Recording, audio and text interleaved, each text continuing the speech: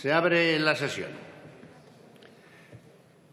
Proposición de ley del Grupo Parlamentario de Unión, Progreso y Democracia relativa a la reforma de la Ley Orgánica 5-1985 de 19 de junio del régimen electoral general para garantizar una mayor proporcionalidad.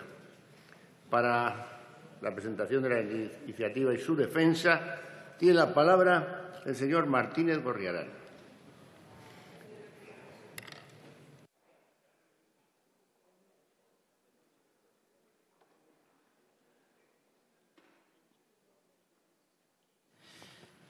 Eh, gracias, señor presidente. Bien, nuestra proposición de ley de nuestra cuota semestral eh, va al fondo de una cuestión que creemos de la mayor importancia, precisamente para la regeneración del sistema democrático. Hemos conseguido entre todos, lo cual no es poco, que se entienda que realmente o se da un cambio eh, profundo, un cambio potente a la degeneración del sistema o lo que ya acabará corriendo peligro es el propio sistema democrático. Y en este sentido nos parece que la reforma del sistema electoral es una de las cuestiones más evidentes, eh, más fáciles también de abordar, pese a las resistencias que suscita, y también más claras y concretas y más urgentes. Hay muchísima gente en España, se ve claramente en las encuestas, que piensa que efectivamente tenemos un sistema electoral defectuoso. Y la propuesta que les traemos aquí es una propuesta de reforma de la Ley Orgánica del Régimen Electoral General, que nos parece una propuesta, por cierto, muy bien trabajada. Luego explicaré de dónde viene y en qué consiste en sus líneas generales y, sobre todo, eh, factible, factible y práctica. No es una propuesta ni utópica, ni es una propuesta hecha pensando en arcoíris y unicornios, ni ninguna de estas distracciones, sino que va al fondo de la cuestión. Y el fondo de la cuestión es que la democracia tiene dos principios básicos que pensamos que la Loreja actual pues conculca, quizás no en el momento en que se aprobó, en unas circunstancias muy especiales, en la transición, pero sí a día de hoy. Y son estas dos premisas de cualquier democracia. Una, primero, la de la igualdad del valor del voto, aquello que se decía con la expresión tradicional de un hombre un voto.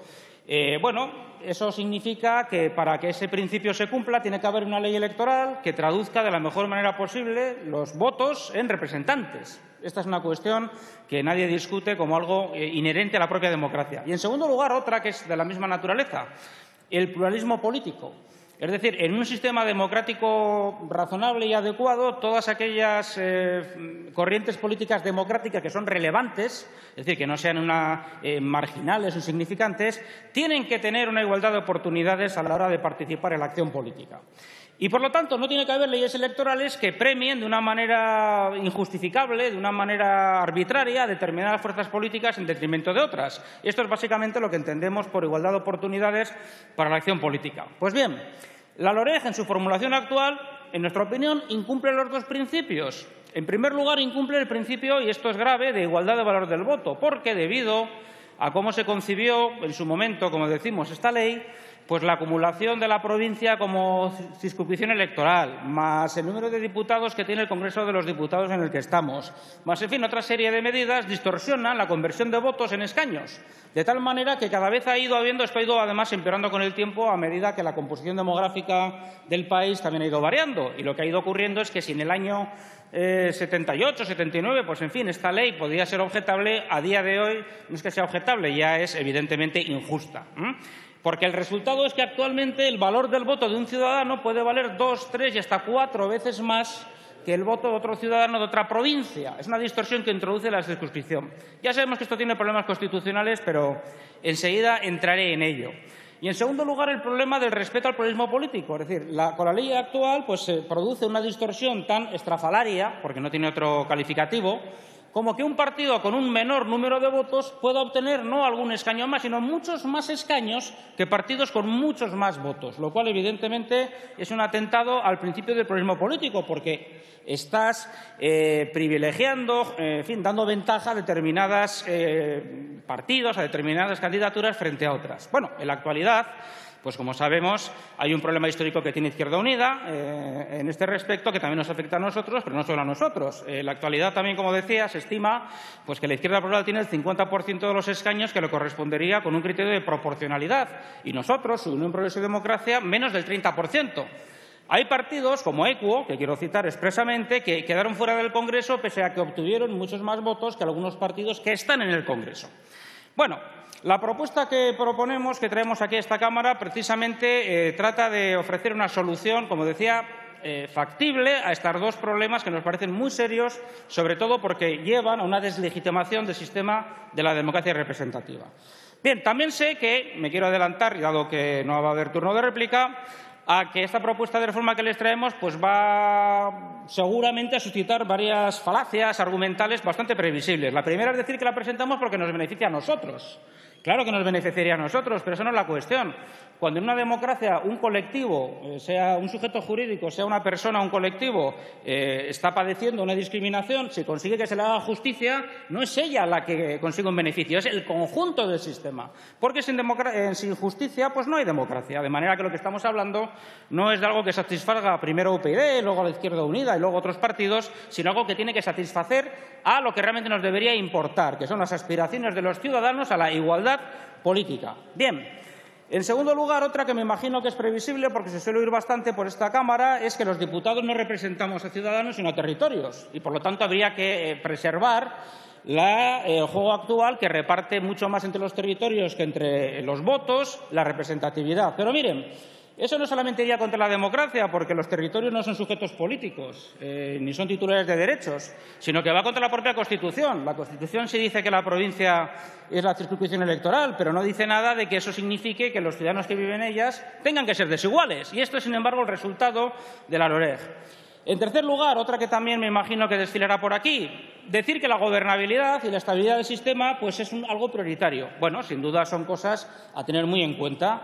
Pero la propuesta que les hemos traído, si se han tomado, que supongo que por supuesto, la molestia de estudiarla, sí prevé una prima razonable al partido ganador para poder eh, garantizar que va a haber una gobernabilidad, pero que no se haga a costa de la representatividad del Congreso de los Diputados, que es lo que ocurre en la actualidad. En fin, finalmente también se podría añadir pues, que presentamos una reforma que es discutible, faltaba más, claro que es discutible. Es más, fíjense, la tenemos para que se discuta que no es la ideal, que eh, puede ser técnicamente complicada. Bueno, pues muy bien, pero estas alegaciones se deberían resolver en una tramitación y por eso les pedimos que voten a favor de la tramitación de este proyecto de ley y luego ya podríamos trabajar para llegar a un acuerdo satisfactorio para que, como decía al principio, insisto, tengamos un sistema electoral que garantice dos cosas, que son las que ahora no se garantizan. La igualdad del valor del voto de los ciudadanos con independencia del lugar donde vivan y, en segundo lugar, la representación del pluralismo político en el Parlamento. Estas son las cuestiones, las dos que realmente nos eh, importan.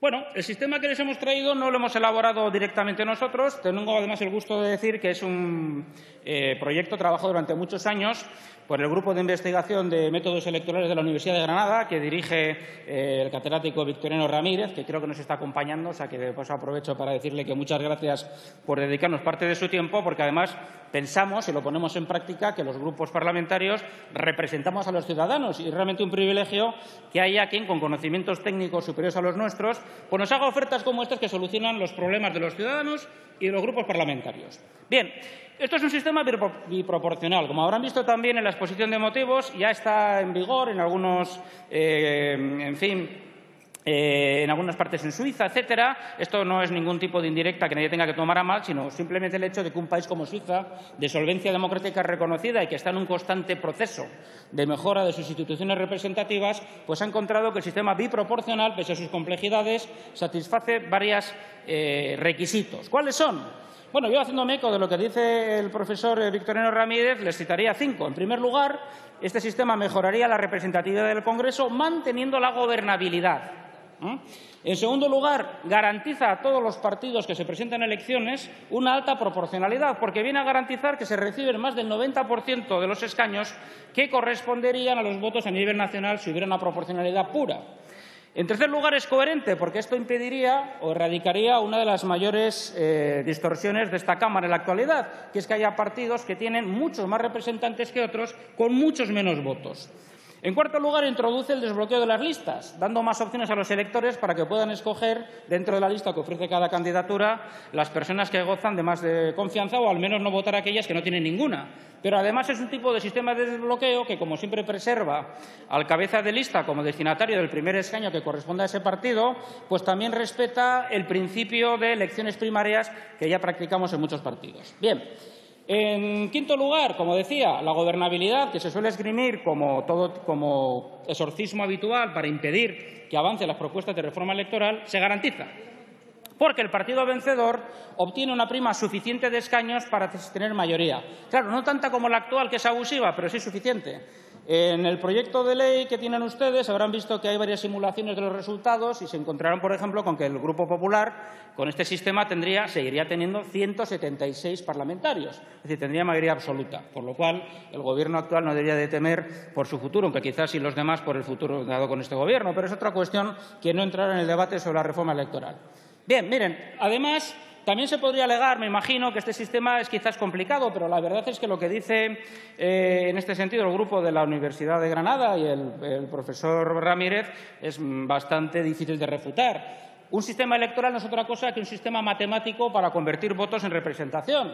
Y sí la representación tiene que obtener determinados objetivos políticos, la simplicidad, la facilidad de comprensión, pues se debe, desde luego, someter, supeditar a la consecución de los objetivos de fondo, que son los que realmente nos deberían importar.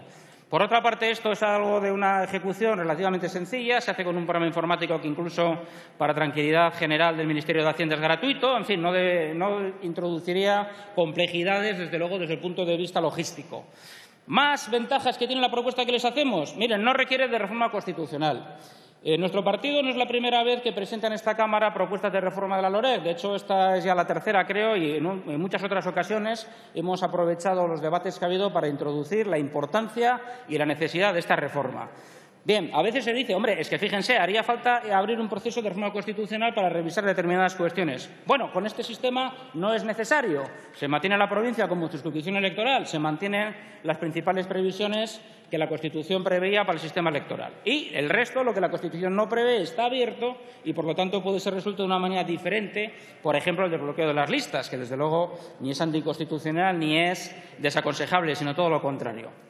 En fin, miren, terminamos. Eh, lo que yo les quiero decir es que una reforma de este estilo es no solamente factible, sino que además es que es muy oportuna, porque no se puede seguir ignorando algo que, sin embargo, también se repite aquí de vez en cuando, que es que el sistema democrático en España está sometido a un proceso de erosión de su legitimidad de ejercicio no de origen. Ya sabemos que se votó la Constitución por una mayoría avasalladora. Ya sabemos que llevamos treinta y tantos años, casi cuarenta, de sistema democrático eh, bastante aceptable. No es esa la cuestión. La cuestión es que ahora, debido a la crisis y otras circunstancias, hay una erosión de su legitimidad. Y contra eso hay que reaccionar. De hecho, ustedes mismos, me refiero al Grupo Popular y al Gobierno, han reaccionado proponiéndonos a los demás grupos un plan de regeneración democrática. Muy bien, aquí tienen. Esto es regeneración democrática esto es una iniciativa para regenerar el sistema sin romperlo, para cambiarlo desde dentro, para tener una ley electoral que permite a partidos que ahora no están aquí y que tendrían que estar, tener representación.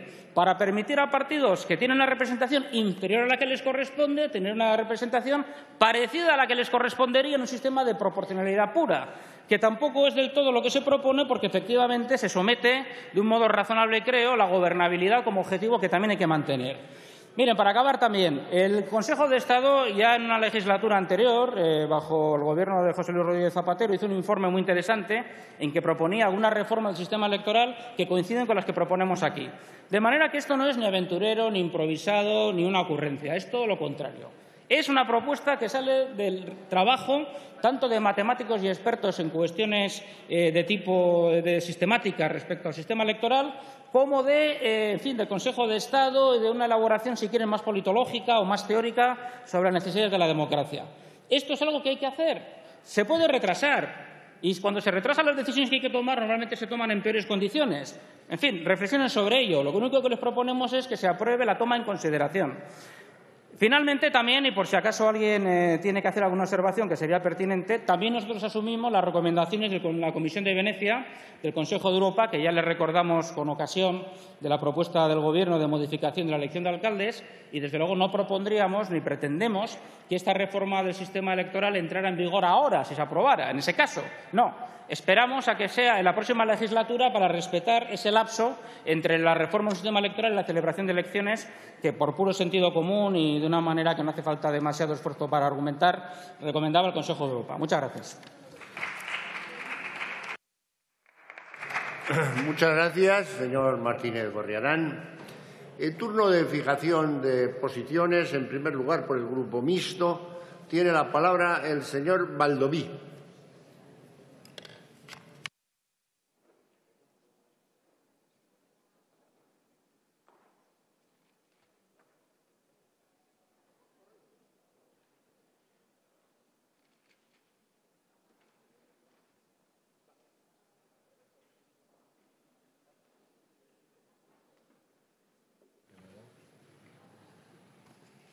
Muchas gracias, señor presidente. Tenemos coincidencia con UPyD en la necesidad de la reforma de la ley electoral.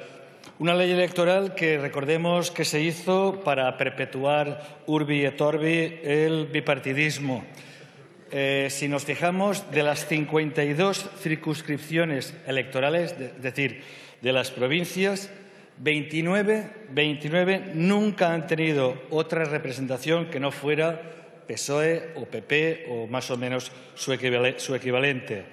Que en ocho de las 19 comunidades y ciudades autónomas nunca haya habido representación de un tercer partido y eso que han habido partidos que han conseguido el 15% de la representación y han quedado fuera. Lo dije hace un par de semanas. Di unos datos elocuentes a la hora de hablar de las últimas elecciones generales. En Soria el Partido Popular sacó 28.000 votos. En Soria el Partido Socialista sacó 16.000 votos y obtuvieron cada uno un escaño. En Valencia, Compromís sacó 85.000 y tuvo un solo escaño. En Madrid, ECO obtuvo 64.000 y no tuvo ningún escaño. Es decir, el escaño de Compromís ECO por Valencia costó tres veces más que el escaño del PP por Soria o cinco veces más que el escaño del PSOE por Soria. Y ECO, con más del doble o el cuádruple de votos, no obtuvo escaño por Madrid. Es decir, el voto de algunos ciudadanos no vale lo mismo. El voto de los ciudadanos valencianos o madrileños vale menos que el voto de otros ciudadanos. Por poner un último ejemplo, la comunidad autónoma valenciana, con más del doble de población que Castilla-León, tiene más o menos los mismos diputados. Es decir, los valencianos tenemos 33 diputados y Castilla-León, con menos de la mitad de la población, tiene 32 diputados. Recordemos también que el PP en estas elecciones no llegó ni a la mitad de los votos. Lo he recordado varias veces. Con el 44% de los votos tiene el 54% de los escaños. Y así ha podido aprobar leyes que han eh, variado, que han modificado, que han ido a peor en la vida de muchísimos ciudadanos. Por tanto, coincidimos con el, proponente en la necesidad de eh, la proporcionalidad en la ley electoral, que los escaños se repartan proporcionalmente a la población de derecho, que un voto en Valencia o en Madrid valga lo mismo que un voto en Soria, en Palencia o en Zamora. Pero hay cosas en las que no coincidimos con la propuesta de UPyD. UPyD es un partido que reiteradamente habla de eliminar las diputaciones, las diputaciones que son, eh, y me remito a palabras suyas con las cuales coincidimos plenamente, son eh, organismos anclados en el pasado. En cambio, esta propuesta mantiene la provincia como circunscripción. Nosotros entendemos que en el Estado español que el sujeto administrativo es la comunidad autónoma y, en cambio, el sujeto de representación es la provincia entendemos que habría que eh, ser el sujeto de representación la comunidad autónoma. Por tanto, no estamos de acuerdo en que se mantenga la provincia como eh, sujeto de representación.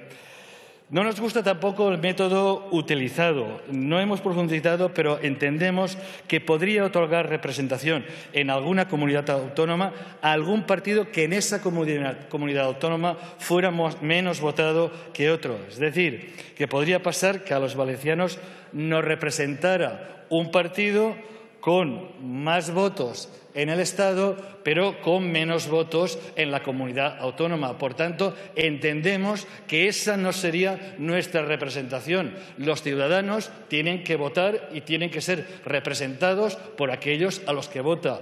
Y en ese sentido entendemos que aleja ese voto de los ciudadanos. Y por último, Compromís Equo apuesta porque la eh, el sujeto de representación, es decir, la circunscripción, sea la comunidad autónoma, porque los escaños se repartan proporcionalmente por la población de derecho.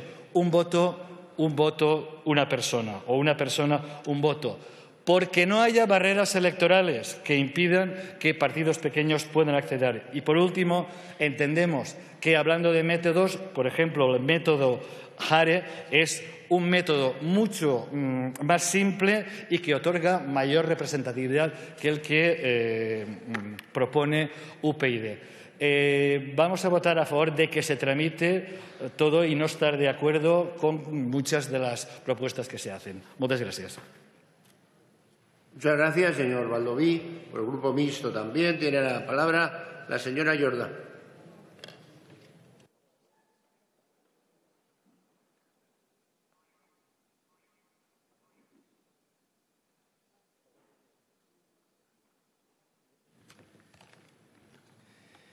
Muy buena tarde, señor presidente, señoras, señores diputados.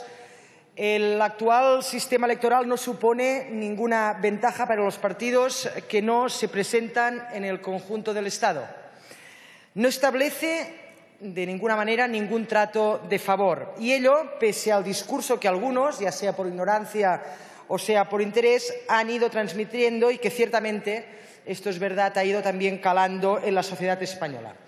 Señorías de Unión Progreso y Democracia, señor Martínez de Corriagán, yo les invito eh, a que lo digan y que lo digan de forma clara. Ni Esquerra Republicana de Cataluña, ni el Bloque Nacionalista Gallego, ni Convergencia y Unión no estamos sobre representados en el Congreso de los Diputados. No lo estamos. La menor representación de Izquierda Unida, eh, o de la Izquierda Plural, o de su grupo, deben reprochársela señorías, deben reprochársela al Partido Popular y al Partido Socialista. De hecho, Esquerra Republicana hubiera obtenido un diputado más de haberse aplicado criterios de proporcionalidad estricta. Esquerra Republicana ha criticado, y no lo ha hecho pocas veces, lo ha hecho muchísimas, el actual sistema electoral. Se trata de un sistema que solo beneficia el bipartidismo. El Partido Popular gobierna hoy, ya se ha dicho, con una mayoría absolutísima pese a contar con solo el 45% de los votos. Lo que sucede con el actual sistema electoral es algo, es algo absolutamente inaceptable. Por la misma razón, tampoco podemos compartir la propuesta que nos plantean que persigue eh, favorecer la gobernabilidad al repartirse los últimos 25 escaños de forma más favorable al partido más votado. No se trata de lograr una proporcionalidad estricta, señorías. La barrera electoral ya supone una distorsión en cierta forma aceptable, pero no podemos tampoco aceptar que logre una mayoría absoluta quien efectivamente no la ha obtenido donde la tendría que obtener, que es justamente en las urnas.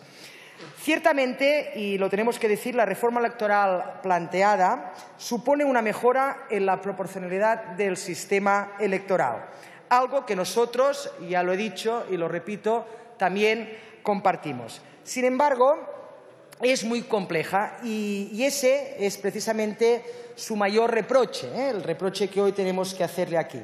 La gran mayoría de los expertos comparten la visión de que la simplicidad de un sistema electoral, en el sentido de que el electorado sea capaz de entender el mismo, de entender el mismo uh, sistema electoral en uso, es algo deseable. Pero lo que sí tenemos que decirles, señorías de Unión, Progreso y Democracia, es que sean valientes, ¿eh? que me consta que muchas veces lo son. Pues séanlo una vez más, porque el verdadero problema del actual sistema electoral es la circunscripción provincial. Y déjense de sucedáneos, eh, de sucedáneos que añaden complejidad al sistema y evitan resolverlo de raíz. Presenten una propuesta de reforma constitucional para modificar la eh, circunscripción provincial y establecer las comunidades autónomas como circunscripción electoral. La Constitución es reformable, lo sabemos, ¿eh? y si se trata de mejorar la democracia, en este caso logrando una mayor proporcionalidad o garantizando, por qué no, el ejercicio del derecho a la autodeterminación, seguro, segurísimo que ahí nos vamos a encontrar y segurísimo también que nos vamos a entender. Nada más, muchas gracias, señor presidente. Muchas gracias, señora Jordá. Eh, por el Grupo Vasco PNV tiene la palabra el señor Esteban. Gracias, presidente. Desde el escaño, porque creo que es lo que corresponde a esta iniciativa. UPyD suele hablar mucho de los raca-racas de los otros partidos, pero desde luego cuál es su raca-raca particular nos lo está dejando muy claro una y otra vez. La verdad es que esta iniciativa resulta sorprendente. Iba a utilizar un calificativo más grueso, pero voy a dejarlo en, eso, en sorprendente. Y lo digo porque en el último pleno no la semana pasada, porque no lo hubo, pero en el anterior hubo una iniciativa por parte de ese mismo grupo en el que al final se consensuó entre todos los partidos políticos, excepto el Partido Popular, eh, una, propuesta con dos puntos, una PNL con dos puntos que venía a decir eran básicamente dos ideas, y sobre todo la primera, eh, señores del Partido Popular, no vamos a ponernos a discutir una modificación de la ley electoral municipal a un año vista de las elecciones. No es el momento, tiene que ser otro momento. Y resulta que en vez de aplicarse el cuento, nos encontramos con que deprisa y corriendo, porque incluso se pidió que corriera un turno en la Junta de Portavoces, se mete un asunto en el boletín eh, de las Cortes Generales recientemente para que ahora volvamos a discutir otro tema, pero esta vez el que le interesa a UPyD.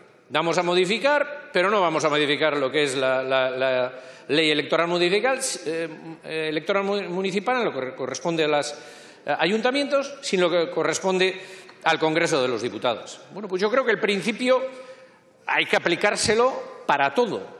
Y creo que la respuesta que le dio, no la mayoría de la Cámara, porque eso lo tiene el Partido Popular en estos momentos, pero la mayoría de los grupos políticos eh, quedó muy clara en eh, la ocasión eh, anterior. Desde luego, ni es el momento, ni hora de prisa y corriendo, no vale ponerse tampoco la venda diciendo, no, no, nosotros, como la Comisión de Venecia, no es para que entre en vigor inmediatamente, es para que entre en vigor dentro de dos legislaturas. O sea, pues la misma legitimidad podría tener el próximo Congreso al principio de esa nueva legislatura para modificar el, el sistema electoral en vez de hacerlo ahora deprisa y corriendo. Por lo tanto, por nuestra parte, no voy a entrar en la discusión de, la propuesta concreta, porque no es el momento de discutir esto. Tráiganlo en la próxima legislatura, si quieren, que ya lo han intentado, por cierto, otras veces en esta Cámara. Eso por una parte. Y en, segunda, en segundo lugar, eh, también se incumple lo que se establece en, eh, en, el, Acuerdo de Venecia, cuando traen ustedes en concreto aquí una propuesta muy concreta, eh, que por cierto, no, sin entrar, pero ni creo que se puede calificar al sistema electoral de prácticamente norma preconstitucional y como que no se ha modificado en absoluto nada desde entonces, ni creo que se pueda decir que se están cumpliendo con este sistema que se está proponiendo una un punto básico en la Constitución española que se puede modificar, evidentemente, que hoy por hoy está ahí, que es la circunscripción electoral provincial. Dicho eso, lo lógico hubiera sido igual haber hecho una propuesta más abierta, que creo que, insisto, no es el momento, pero ábrase una subcomisión en, eh, la Comisión Constitucional para estudiar la LOREG. Pero están infringiendo lo que dijeron defender el otro día con sus propios votos en dos puntos. Primero, no es el tiempo. Segundo, lo que tienen que buscar es acuerdos amplios y no traer unas propuestas tan concretas y cerradas. Nada más y muchas gracias. Evidentemente votaremos que no. Muchas gracias, señor Esteban. Por el Grupo de Izquierda Plural tiene la palabra el señor Nuet.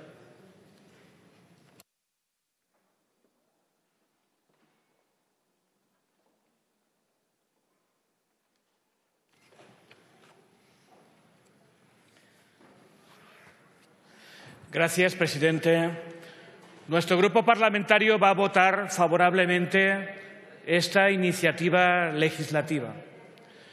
No porque estemos de acuerdo con todos los preceptos que en ella se contienen, sí con algunos, pero evidentemente el debate no es estar al 100% de acuerdo.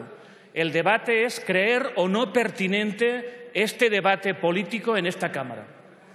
Y señoras y señores diputados, este debate es pertinente, es necesario, es una urgencia democrática de nuestro país, porque precisamente la democracia de nuestro país está enferma, enferma por diversas razones, pero una de ellas es por la falta de representatividad de parte de la representación política de esta Cámara en la cual nos encontramos. Miren, al final de la legislatura pasada observamos el desarrollo de una subcomisión parlamentaria para la reforma de la ley electoral. En ella, cuatro partidos políticos decidieron pactar la ley del silencio o mirar hacia otro lado. Por supuesto, el Partido Popular, el Partido Socialista, pero también Convergencia Unión y el Partido Nacionalista Vasco. ¿Por qué? ¿Por qué ocurre eso? Es muy sencillo, porque parte de estos partidos, y especialmente los dos grandes partidos de esta Cámara, parte de su representación política ya no viene de los ciudadanos y ciudadanas, señoras y señores diputados, viene del sistema electoral injusto que les otorga un premio que no les han dado los votos. Y con ello se sientan diputados y diputados en esta Cámara que no tienen votos ciudadanos para ser diputados y diputadas. Este es el gran problema que tenemos, la falta de representatividad del sistema electoral en nuestro país. Y, por tanto, este debate es necesario y urgente, es una necesidad democrática. Miren, los problemas son tres, muy sencillos. El primero, hay una desigual distribución de los escaños por circunscripción. Dos, hay una asignación de escaños a las candidaturas en cada circunscripción que impide que la fórmula electoral despliegue sus efectos de reparto proporcional. Y tres, un resultado general en las elecciones que contradice la voluntad popular, o sea, teniendo más votos que otros, unas candidaturas reciben menos escaños. Esto, mire, lo podrán contar de mil maneras, pero esto no es democracia, esto es otra cosa. Y de eso estamos hablando, en un momento profundo de crisis política en nuestra sociedad, de crisis de la representatividad, debemos hacer las reformas. Esta reforma sí, señoras y señores del Partido Popular, no la de los alcaldes asustados del Partido Popular. Esta sí es necesaria. Debemos hacer reformas que mejoren la representatividad política en nuestro país para que el sistema político no siga hundiéndose y podamos alcanzar más cuotas de democracia. Evidentemente, en el contenido de la iniciativa podremos discutir de muchas cosas. Algunas las hemos venido apuntando en los últimos años. Sí, esta Cámara podría aumentar su número de diputados. Espero que nadie nos argumente que eso sale muy caro, porque el argumento subsiguiente es decir que las dictaduras saldrían más baratas.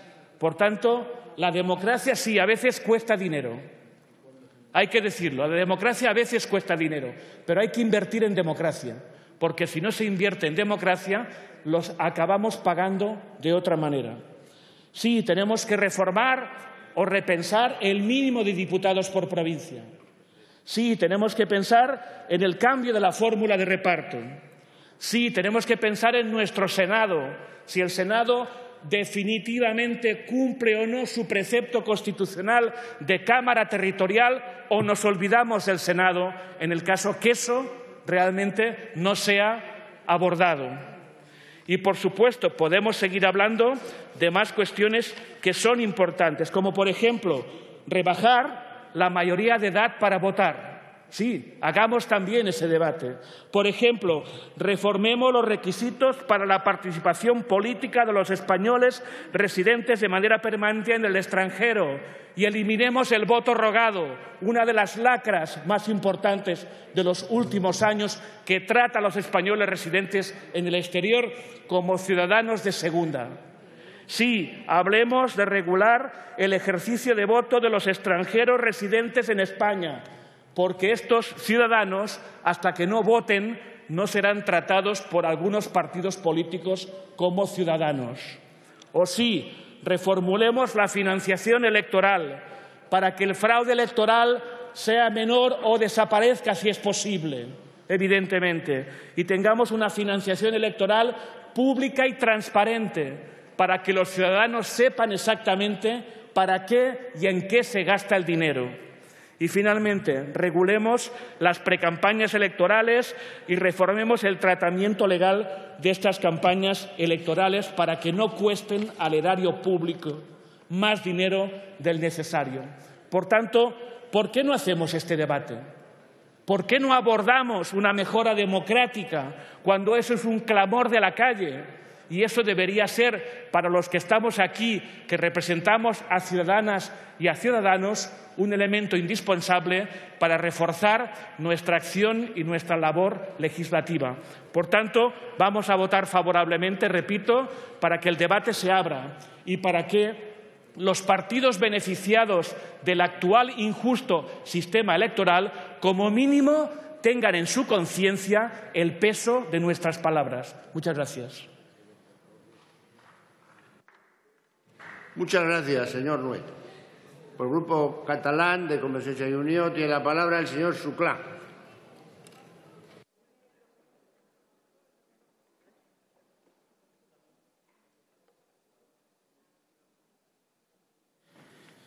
Muchas gracias, señor presidente, señorías, señores representantes de UPyD.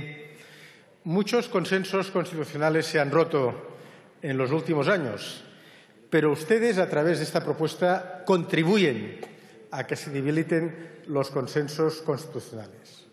Porque el último consenso constitucional que existe en España es sobre el sistema electoral. Y una reforma del mismo requiere de un método que no es exactamente el que ustedes nos proponen. No puede ser, señor Martínez Gorriarán, que con una franqueza que le tenemos que reconocer, usted suba a esta tribuna y diga, nosotros proponemos esto porque esto a nosotros nos interesa. A nosotros nos interesa. Diario de sesiones. Parece un poquito más difícil porque, por otra parte, no sabemos si a ustedes les interesa una propuesta de reforma del sistema electoral que plantearon en su programa electoral del año 2008 y que defendieron en la anterior legislatura y que es diametralmente opuesto el que plantean esta tarde, o ustedes defienden este modelo con buena inspiración académica como nos ha planteado. Quiero recordarles que en la anterior legislatura se produjo una reforma en profundidad del sistema electoral basada en el criterio del consenso y del descarte de aquellos asuntos en los cuales no había consenso. Y en esta renuncia en aquellos asuntos en los que no había consenso, es evidente que distintos grupos parlamentarios, también el que represento esta tarde, renunciamos a algunos de nuestros planteamientos. Y le podría hacer la lista de los planteamientos a los cuales renunciamos, entre otros a la vergüenza de que un país con 47 millones de habitantes tenga unas elecciones europeas con circunscripción electoral única, cosa que no pasa en Francia, en Alemania, en Reino Unido y en, Italia y en tantos otros países. Pero es que además, señor Martínez Gorriarán, su argumento de que vamos a plantear esta reforma pero no es para la siguiente legislatura, eh, le tengo que recordar que la Comisión de Venecia recomienda insistentemente a los nuevos países bajo monitoring, a Ucrania, a Rusia, a las repúblicas caucásicas y a Moldavia, que no se planteen las reformas constitucionales exactamente como usted la está planteando en el último año de legislatura y como elemento de confrontación electoral.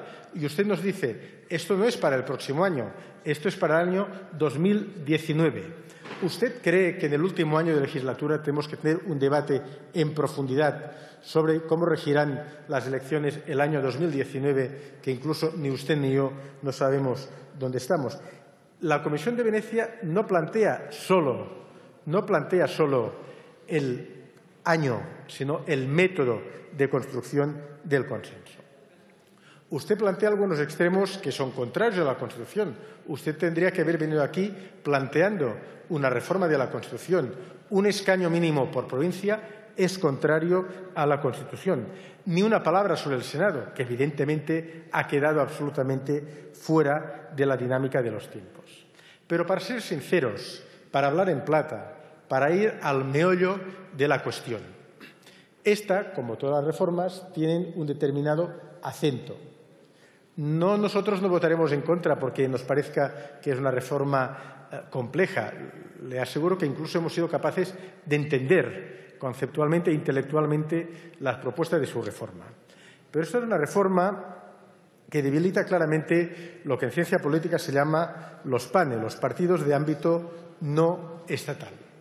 Los debilita en primer lugar porque hace una primera asignación de los escaños en el ámbito estatal, ustedes planteaban directamente la asignación de 200 de los 400 escaños que querían que tuviera este Parlamento a través de un sistema proporcional a nivel estatal. Ahora han querido sofisticar, ligeramente, ligeramente su método, pero con una primera asignación de escaños a nivel estatal. Ustedes plantean un bonus de mayoría de 25 diputados al primer partido y depende de cómo sea el resultante de las elecciones al primero y al segundo partido. ¿Esto es democrático? Sí, esto lo hemos visto en Italia. ¿Esto es muy apropiado? No. ¿Ha sido ingobernable esta Cámara en los últimos 35 años con el actual sistema electoral? No, no ha sido ingobernable. Un premio de 25 diputados al primer partido, y depende de cómo, al primer y al segundo partido, es un señal de miedo de quizás de final de ciclo del actual sistema de partidos políticos, del cual precisamente usted, usted precisamente se hace portavoz. Y finalmente, otros portavoces no han hecho referencia a ello, pero eh, el artículo 163.1.a evidentemente tiene un acento, para decir una carga muy, muy notable. Se lo voy a leer, señorías no es de lectura lineal y fácil en su interpretación, pero es clarísimo. Cito. Se calcula el valor R, que es igual al 0,25% del total de votos válidos recibido por todas las candidaturas en las 52 circunscripciones electorales. El partido político que haya recibido en total menos de R votos no participará en la asignación de escaños. Para los restantes partidos se resta R al total de sus votos y la cantidad que resulte se denominan votos reducidos del correspondiente partido. Fin de la cita. Eh, señor proponiente, es evidente que este artículo 163.1.a eh, tiene unas consecuencias evidentes y una voluntad evidente de menoscabar la presencia de algunas formaciones que en el presente y en el futuro, que en el presente y en el futuro ya verá que van a conformar un Congreso de los Diputados distinto del actual. No le quiero plantear solo las cosas negativas, le quiero plantear algo interesante, como son las listas desbloqueadas que usted plantea. Pero usted plantea las listas desbloqueadas de una forma muy original, porque plantea listas desbloqueadas para toda la lista, excepto para el cabeza de lista. Y ustedes, cada uno de ustedes podrán llegar a su conclusión. Yo llego a la conclusión de que ustedes tienen una vocación de partido cesarista que tiene miedo a que el cabeza de lista también afronte el juicio de los electores a través de una lista desbloqueada. Listas desbloqueadas para todos, menos para el cabeza de lista. Y si quieren hacer algo bien hecho desde un punto de vista técnico, introduzcan un mínimo para que se desbloquee la lista, no un solo voto, que es lo que ustedes plantean con su redactado, un 5% de variación dentro de los miembros de la lista, para evitar lo que pasó en Italia, que era una pelea interna dentro de los partidos políticos más que una valoración de la calidad de los candidatos entre los electores. No sean tan italianos en tantas cosas, en el 25% de prima del partido más votado, en las listas desbloqueadas para todos, menos para el cabeza de lista. Incluso el berluscanismo parece que ya forma parte del pasado. Y un mínimo para el desbloqueo de las listas. Su cita de los cantones suizos parece muy elegante, pero si quiere hablamos de confederalismo. Si quiere hablamos de confederalismo para todo. Pero si ustedes se inspiran en el método electoral, electoral de Suiza, vamos a hablarlo en todas las consecuencias porque claramente el sistema electoral conforma y modula la estructura también de la representación del Estado. Y finalmente, señor diputado, señor Martínez Gorrerán, ustedes cambian muy notablemente su modelo. Todos estamos cambiando, todos estamos evolucionando, pero ustedes tenían en su programa electoral de la anterior legislatura y ustedes plantearon en este Parlamento y en este Pleno del Congreso, en la anterior legislatura, un sistema electoral con otras inspiraciones intelectuales que pasaba de 350 a 400 diputados, que asignaba 198 diputados por circunscripciones autonómicas. Y ahora ustedes vuelven a la circunscripción provincial. ¿Cuál es su convicción? ¿Ustedes tienen convicciones o hacen un copy-paste de distintas propuestas intelectualmente interesantes? Y hacían otra asignación de 200 diputados más simplemente por circunscripción única, cosa que requiere, evidentemente, una modificación de la Constitución. Señorías, señores del UPyD, nosotros vamos a votar que no.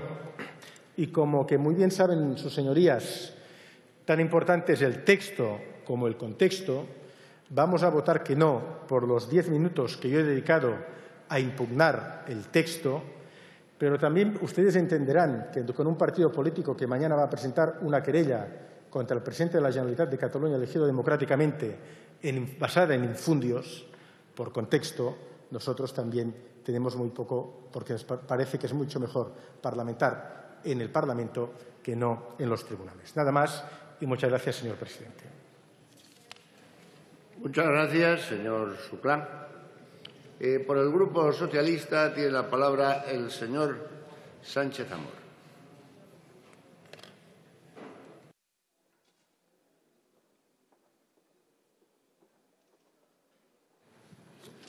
Buenas tardes, colega Gorreirán, compañeros. En relación con la oportunidad, se ha dicho ya, pero me veo obligado a repetirlo, hace 15 días le echaba a usted desde esta tribuna una bronca enorme a Montoro porque traía una reforma electoral a menos de un año de las elecciones. Por cierto, lean ustedes la proposición de ley de UPyD. Dice que entra en vigor al día siguiente de su aprobación.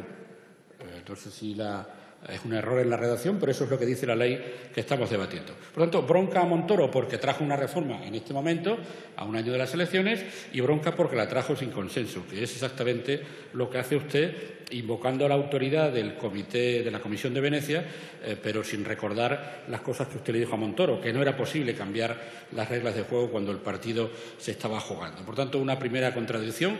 Usted consideró que la propuesta del PP era ilegítima yo diré solamente de la suya que es eh, inoportuna. Y vamos a los efectos de la reforma. la propia Comisión de Venecia dice que no son admisibles o que no son democráticamente lógicas las propuestas de reformas electorales que se hacen para beneficiar a algún grupo. y hemos llamado todos al PP ventajista porque intentó amagó con una reforma electoral sobre la elección de alcaldes que aparentemente le, beneficiaba. Usted nos trae una propuesta de reforma electoral en el último tramo de la legislatura, sin ningún tipo de intento de consenso y muy revelador de su espíritu regenerador, una reforma que con los resultados de 2011 le hubiera usted permitido tener 16 diputados en vez de 5. 16 en vez de 5. Y usted lo ha dicho muy claro. Aquí no vengo a hablar de arcoíris ni de unicornios. Aquí están las convicciones por las que les preguntaba el señor Suclá. Con este sistema, diferente del que propusieron hace unos años, ustedes hoy tendrían 16 diputados en vez de 5. De tal manera que invocar a la Comisión de Venecia me parece que no es lo más adecuado. Mire, sobre la propuesta, un diputado por provincia, un complejo mecanismo matemático para atribuir en primer lugar un número de 325 escaños en cómputo nacional, más otro sistema de cómputo para otros 25 escaños, eh, un tortuoso eh, proceso matemático del que se deduce en un cómputo nacional qué partido ha ganado las elecciones, qué partido tiene un número de diputados u otro, incluso se puede averiguar qué posibles combinaciones podría haber para un gobierno, pero no se sabe después del cómputo nacional quiénes son los diputados y a qué provincia pertenecen, porque esa es una operación posterior al cómputo nacional eh, que, ustedes, eh, que ustedes hacen. Por tanto, solo después de hacerse esa atribución de escaños se hace la atribución eh, por provincias en una compleja operación matemática que le pido a los compañeros que intenten desentrañarla y, y que reserven tiempo para ello porque no es, no es fácil. Oiga, en su sistema hay cinco sistemas de cómputo electoral un Salagueux para la distribución de escaños por provincias, un primer DONT para los 325 primeros escaños, un segundo DONT para los 25 siguientes escaños, un sistema biproporcional para, para el encaje de votos escaños provincia y al final otra vez un San para los redondeos de la última operación. Absolutamente complejo, no complejo. Francamente hace falta tener una mente matemática limpia para poder llegar a esto. Y este barroco artefacto artefacto barroquísimo, da lugar a que UPyD hubiera tenido dos diputados más en Madrid y un diputado más en Barcelona, Alicante, Sevilla, Málaga, Murcia, Cádiz, Asturias, Zaragoza y Granada. En vez de cinco, dieciséis diputados. Oiga, transparente. No hace falta, eh, creo, ser mucho más explícito. Pero no acaban ahí las complejidades. No entraré. El señor Sucla ha explicado la extraña contradicción de desbloquear las listas dejando que el número uno no sea eh, objeto de preferencia. Parece una cosa aparentemente contradictoria en la que no entro para no perder tiempo. Hasta ahí la descripción de su sistema. Nuestra opinión. Oiga, derecho comparado. Este sistema lo utilizan tres cantones suizos. Por tanto, tres poblaciones muy pequeñas y tres parlamentos muy pequeños, donde efectivamente, al ser parlamentos pequeños, las dificultades de encontrar proporcionalidad son mayores. Eh, eh, por ejemplo, Sarajevo tiene 80.000 habitantes y su parlamento tiene 60 escaños. Oiga, nada que ver con un universo de 45 millones de españoles y un parlamento de 350. Ningún país del mundo utiliza este sistema que ustedes nos proponen. Lo hacen tres de los 26 cantones suizos. Y quizá en Suiza, porque en Suiza, como todo el mundo sabe, hasta el más tonto hace relojes, si me permiten la broma. Y un asunto sustancial respecto del sistema, eh, colega Gorriarán. Desde mi punto de vista jurídico, el sistema que usted propone de un cómputo nacional es inconstitucional. La decisión constitucional de elegir a la provincia como circunscripción obliga también a que el cómputo sea provincial.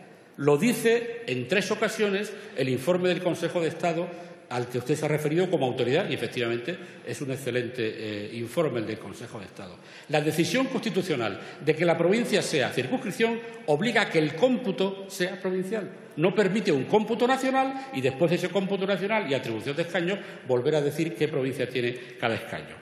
Eh, lo puede usted encontrar en tres ocasiones en el informe del Consejo de Estado. Lo que sí parece admitir el Consejo de Estado, no entraré, es en que una vez atribuidos los escaños en la provincia, los restos podrían hacerse en un cómputo nacional, pero no es objeto de, lo que ustedes nos proponen. Por tanto, otro problema. Otro problema que le veo, no insistiré, lo ha señalado Valdoví, perdón, eh, y es que hay una aparente contradicción entre la opción de darle al ciudadano la posibilidad de elegir y luego que el cómputo sea nacional.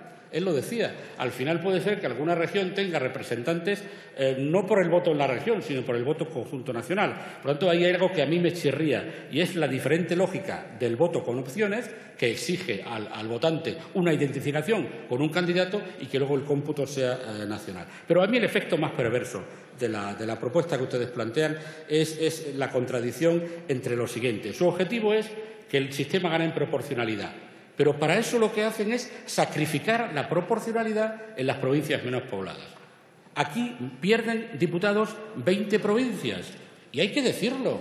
Cuando uno plantea este tipo de propuestas, hay que decirle a los ciudadanos que Almería, Badajoz, Jaén, Valladolid, Ciudad Real, Huelva, León, Burgos, Salamanca, Lugo, Orense, La Rioja, Álava, Huesca, Cuenca, Zamora, Valencia, Ávila, Segovia y Teruel pierden diputados. Hay que decírselo. Porque ustedes dicen que buscan proporcionalidad, pero a costa de perder proporcionalidad en aquellas circunscripciones en las que se, eligen menos diputados, en las que ustedes dificultan la entrada de los partidos pequeños porque su, objetivo político está conseguido de la otra manera. Es decir, para conseguir el objetivo de la proporcionalidad, ustedes amplían la proporcionalidad y, por tanto, sus oportunidades allí donde tienen ustedes más votos, en las zonas urbanas y, sin embargo, sacrifican a las provincias rurales donde ustedes tienen menos implantación. Ustedes quieren más proporcionalidad donde les interesa la proporcionalidad y, sin embargo, les importa menos dejar sin proporcionalidad a las provincias a las que hacen perder un diputado. Y eso es un olvido del mundo rural. Lo diré aprovechando que me queda tiempo, que ya está bien que desde Madrid no se entienda que este país, que está tan orgulloso de defender su pluralidad, siempre la minoría más olvidada en este país sea la minoría de los españoles que vivimos en el mundo rural. Por tanto, eh, los sistemas electorales, alguien se lo ha dicho, no solo representan ciudadanos. No digo que representen territorios, no digo Gorriarán que representen territorios, pero sí digo que la lógica electoral en todos los países del mundo, menos en Eslovaquia y en Holanda, es que en todos sitios hay circunscripciones electorales porque también representan una realidad la representación de los territorios. Y, esa eh, modulación de la proporcionalidad, usted lo sabe porque lo cita en la ley, ha sido admitida plenamente por el Tribunal Constitucional. Es decir, la modulación de la proporcionalidad está justificada para dar representación a las provincias menos pobladas. Está, con unas palabras similares, en la sentencia de 2011 sobre eh, el cambio electoral en Castilla-La Mancha. Por tanto, esta es nuestra opinión sobre su modelo. Es inoportuno, es ventajista, no he utilizado esa palabra, pero es la que le aplicamos al PP hace 15 días, no explicita sus efectos, hay que decir a la gente que 20 provincias pierden un diputado, no tiene un apoyo comparado relevante, es complejísimo, es internamente contradictorio, es inconstitucional en lo que afecta al cómputo nacional y sacrifica la proporcionalidad en 20 provincias suficiente para que entiendan que no les vamos a aprobar eh, su propuesta. ¿Quiere decir eso que nosotros nos parezca que el sistema electoral no merece un cambio? No, es muy mejorable. Tampoco hagamos de nuestro sistema electoral el cubo de la basura, porque ¿qué país ha cambiado su sistema electoral en los últimos tiempos? ¿Qué país grande europeo? Italia. ¿Y ha ido Italia a comprar el sistema biproporcional a los cantones suizos? O, como decía Enrique Juliana en una crónica, Italia se enamora de la ley electoral española, hartos seguramente de tanta inestabilidad eh, gubernamental. Mire, no se trata de enamoramiento en nuestro caso. Sabemos que hay problemas de proporcionalidad, sabemos que hay que corregirlos, somos conscientes y además saben ustedes que defendemos las listas desbloqueadas, pero la forma no puede ser traer cada uno aquí su fórmula electoral favorita para el pim pam pum de los demás. Eso no es serio. Eso no es serio porque, vuelvo al día de la marmota del Grupo Socialista en esta temporada, vayamos a la reforma constitucional si es necesario. Toda esa ingeniería eh, matemática y constitucional de su, eh, eh, de su, propuesta se deriva de las dificultades que la propia Constitución establece para una mayor proporcionalidad examinemos, si es necesario, una reforma constitucional y no traigamos aquí cada uno la reforma que nos favorece, porque va a ser sometida, como lo está haciendo la suya, a este pim pam pum de todos. Y si llegamos a la conclusión de que es conveniente reformar la Constitución, hagámoslo sin ningún tipo de complejo, porque para eso tenemos la capacidad para hacerlo. Mire, yo creo que el problema eh, de su propuesta es precisamente que es una propuesta que resulta difícil defender cuando hace 15 días han acusado a otro grupo de ser eh, inoportuno y ventajista al traer la suya. Pero como admitimos y partimos de una posición inicial no tan diferente, admitimos los problemas de proporcionalidad, nos gustan las listas desbloqueadas, estamos en condiciones, a pesar de no poder votarle su proyecto, su proposición, perdón, estamos en condiciones de abrir en la fórmula que decía el señor Esteban o cualquier otra los ámbitos de negociación y de eh, consenso para luego sí traer todos un sistema eh, electoral que nos convenga a todos y al país. Muchas gracias. Muchas gracias, señor Sánchez Amor. Por el Grupo Popular eh, tiene la palabra el señor Vera.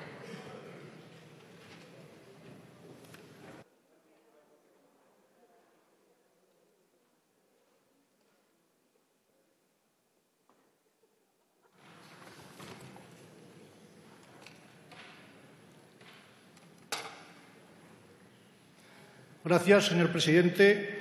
Eh, señor Martínez Gorriarán, el otro día, bueno, hace ya unos pocos días, tuve la oportunidad de decirle que no entendíamos por qué eh, traían ustedes la moción que presentaron instando al Gobierno a poner en marcha la reforma de la Ley Orgánica del Régimen Electoral General y, al mismo tiempo, presentaban ustedes esta proposición de ley con su particular propuesta de reforma.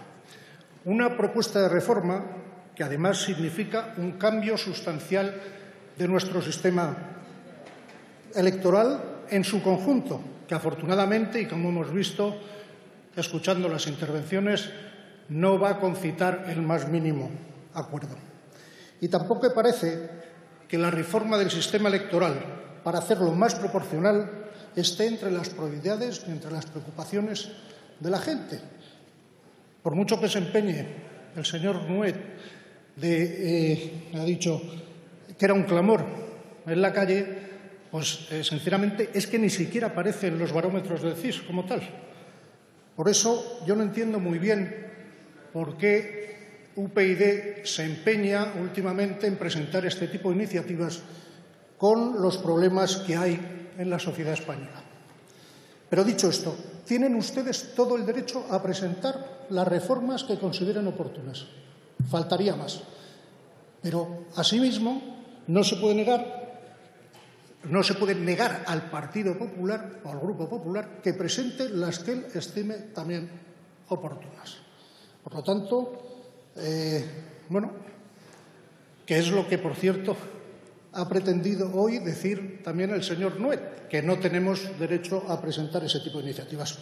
Pero, señor presidente, para el Grupo Popular nuestro sistema electoral ha sido y sigue siendo útil a nuestra democracia. Lo he dicho ya en otras ocasiones. Es un sistema aceptable que cumple con los requisitos que debe tener un buen sistema electoral. Ser representativo de la voluntad de los ciudadanos y ser imparcial, es decir, que con este sistema pueden acceder al Gobierno partidos de diferente signo político. La representatividad y la imparcialidad son los rasgos definitorios de un buen sistema electoral y el nuestro cumple esos principios. Y además es un sistema que ha producido estabilidad política en España que para nosotros es un valor tan deseable como imprescindible. No es la primera vez que digo esto y si lo reitero es porque sinceramente estoy convencido de ello.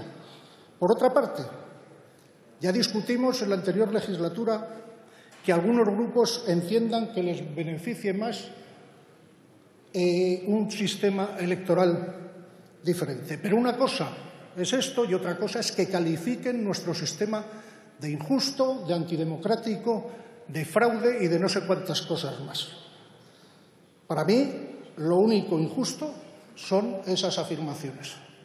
Y cuando algunos hablan de un sistema electoral justo o más justo, ¿a qué se refieren? ¿Justo para quién? En fin, yo creo que hay que ser un poco más serios. Nuestro sistema electoral, nuestro sistema actual, es un sistema que ni es injusto, ni es antidemocrático, ni pervierte los principios de proporcionalidad ni de igualdad, como se ha sugerido. El artículo 68 de nuestra Constitución establece la provincia como circunscripción electoral y que la elección se verificará en cada circunscripción atendiendo a criterios de representación proporcional. Y nuestra ley electoral recoge estos mandatos, exactamente lo contrario que su proposición de ley. que para ser benévolo solo diré que roza la constitucionalidad, ni siquiera la inconstitucionalidad, sino al revés, roza la, la constitucionalidad, porque la distribución de escaños que hacen en circunscripción única y luego lo distribuyen por provincias. La proporcionalidad va en función de la circunscripción y la circunscripción es la provincia, repito, la provincia. Por tanto, en cada circunscripción el valor y la fuerza del voto de cada elector es el mismo, exactamente el mismo. Otra cosa es que no se logren los votos suficientes para obtener un escaño, pero eso ni es culpa de esta Cámara ni es culpa de nuestra ley electoral. Otro dato que debemos tener en cuenta a mi modo de ver, es que con nuestra ley electoral ninguna fuerza eh, política con cierto apoyo popular ha quedado fuera de este Parlamento. Por ejemplo, en la actual legislatura aquí hay representados hasta 15 partidos, si he contado bien, que me parece que no, hasta 15 partidos políticos diferentes. Y esto se une a que, a pesar de eso, de que haya tantos partidos políticos, el sistema electoral ha garantizado la estabilidad política en nuestro país y ha propiciado que diferentes fuerzas políticas accedieran al Gobierno, unas veces con mayoría suficiente y otras a través de los oportunos acuerdos de legislatura. Ya sé que para algunos de ustedes esto no es lo importante, que lo es mucho más tener un sistema proporcional hecho a la medida para conseguir unos cuantos escaños más.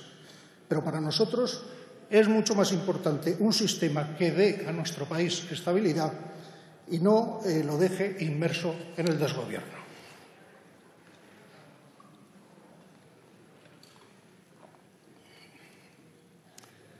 La proporcionalidad no es la quinta esencia de la democracia. ¿Se han preguntado ustedes por qué países como Chile o, como decía el señor Sánchez Amor, Italia, miran con envidia nuestro sistema? Pues quizá convendría que lo hicieran. Además, la reforma que nos proponen del sistema electoral no es que sea más compleja, sino que es muchísimo o tremendamente más compleja. Yo no he tenido la suerte del señor Chucla, que ha dicho que lo ha entendido a la primera. A mí todavía creo que me cuesta entender la propuesta. Bueno, y nos piden también como ha señalado el señor Sánchez Amer, que cambiemos el sistema, que es uno de los sistemas proporcionales que más aplican los países de nuestro entorno, por un sistema utilizado en algún, en algún cantón de la Confederación Helvética. Y finalmente nos proponen algo menos revolucionario como es el desbloqueo de las listas electorales. Pues verán, igual que ustedes nos recomendaban a nosotros no hace muchos días tengo que recordarles que el diálogo y el consenso en esta materia son muy recomendables. El consenso tiene un enorme valor cuando se habla de las reglas del juego democrático. Y a la vista está que esta iniciativa no cuenta con, ese consenso necesario y no porque el Partido Popular esté en connivencia con nadie para recibir no sé qué premio, sino simplemente porque mi grupo no está en absoluto de acuerdo con la propuesta.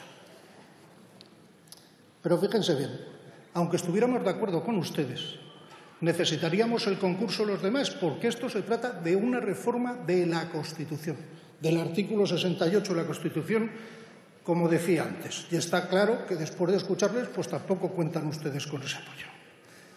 Finalmente, quiero recordar que el informe del Consejo de Estado, en el que justifican ustedes parte de su propuesta, se hizo a instancia de parte.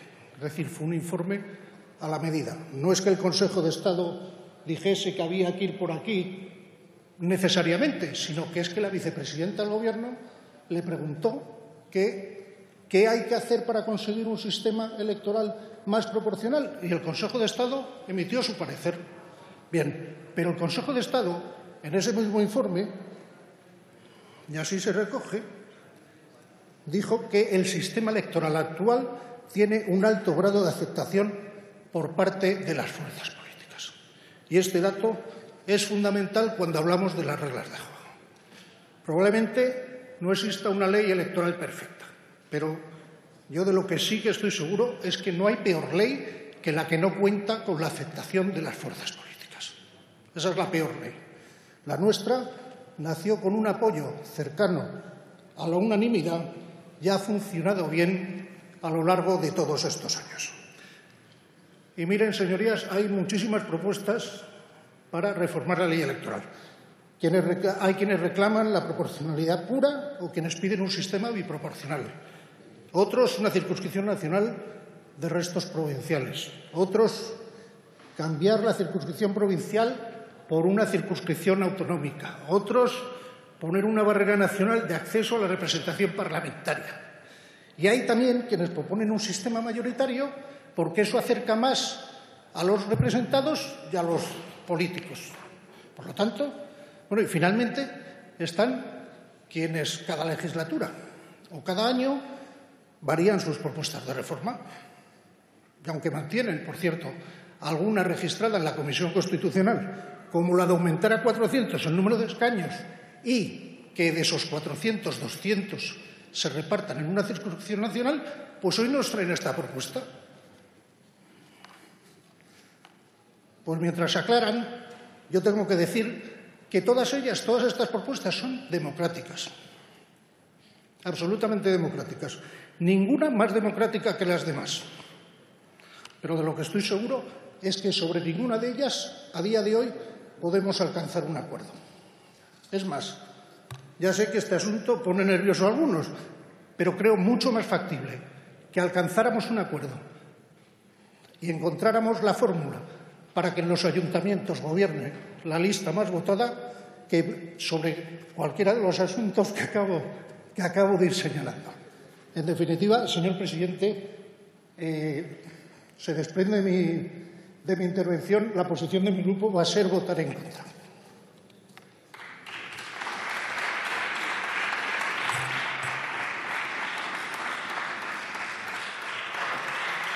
Muchas gracias, señor Vera.